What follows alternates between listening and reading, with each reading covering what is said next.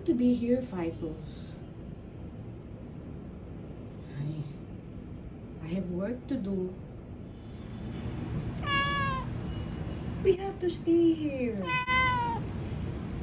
It will just be a few days. Then we'll go home. Yes, I promise. Please don't complain. I have to be here. I have to work. Oh. Why do you say that?